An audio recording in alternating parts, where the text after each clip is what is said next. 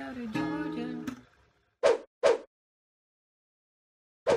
Yo, what's up mga lods? Na nagbabalik na naman si Dern Album Music nga pala ulit ito nga today tuturo ko naman sa inyo yung kantang Peaches by Justin Bass, Justin Bieber, Cesar Daniel and Givion. Pero ito, ito yung version ni Justin Vasquez sa TikTok. Okay, tuturo ko na sa inyo to. Tuturo ko na sa inyo to para matugtog niya na siya. Hindi niya pa, hindi pa niya siguro pinupo sa YouTube. Pero ito tuturo ko na sa inyo para matugtog niya na. Paulit-ulit lang ako. Okay, so meron lang tong apat na chords sa buong kanta. Tuturo kung paano siya tugtugin at yung mga chords step by step. Pero bago yan, baka naman may time ka, bisitahin mo yung Facebook page natin doon na Album Music. Yan. Okay, so simulan na natin to. Ayan mga lods na malapit ng gitara natin, nakikita nyo. Ayan, wala tayong kipo. Okay.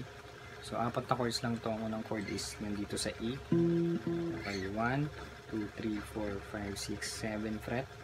Sa fifth, sa panglimang string, fifth string. And then yung ring finger mo nasa fourth string. Pinky mo nasa second string. At ito namang middle finger mo nasa third string sa uh, 8th fret. Okay, tama ba? 1, 2, 3, 4, 5, 6, 7, 8 fret. Diba? Okay. So, ang kinalabit lang natin dito is yung 5th string, tsaka 3rd and 2nd string. Yun lang naman yung kung paano siya tugtugin, no? Then mute. Yun. So, 5, yun lang. Yun lang yung kakalabitin mo sa buong kanta. No? 5, 3, 2 na string. Then mute. Yun. Yun, ganun lang. Yan. Kalabit, mute, then kalabit, then mute ulit. Okay? Next chord na tayo, next chord is uh, E flat no nasa ah, E flat siya so atras lang tayo ng isa ayun So, ang gagawin natin ngayon is, di ba, ito. Atras tayo isa. So, tanggalin natin yung pinky natin. Lagyan natin itong middle finger natin sa second string. Okay? Yun. So, kailangan nakatap yung 5, 4, 3, 2, 1. Yan. So, ganun pa rin yung kinalabit natin. 5, 3, 2. Yun. Okay? So, kalabit, 532, mute, then kalabit, then mute.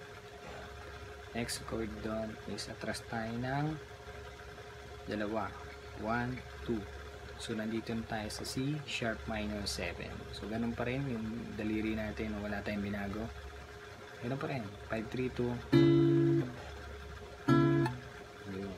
Ganun pa rin. Then, last chord is B. Okay. Atras tayo ng dalawa ulit. 1, 2. Okay? B. So, kahit di mo lalagay itong uh, itong middle finger mo. No, pinky mo ring finger lang sa second string and third string. Yan. So, yun lang kakalabitin mo. 5, 3, 2 pa rin. Ganun pa rin. Yan. Tapos, ulit mo na. Ulit ka na lang ulit, no?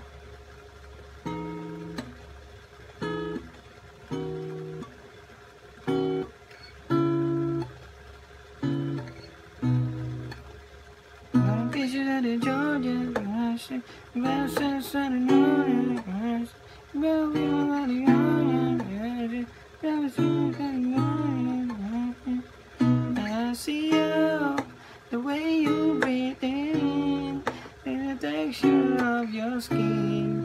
Ayan, so ganun siya.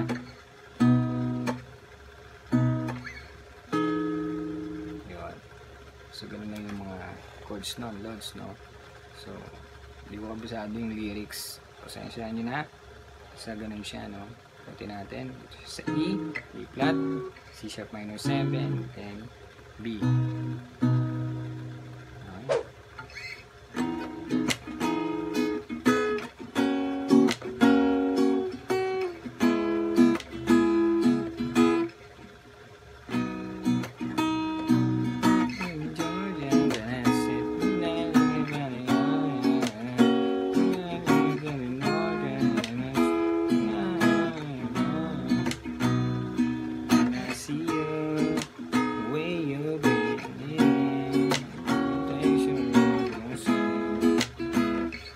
down, up, up, down, up, up, down lang pag strum mo siya. Yun yun mga lodi.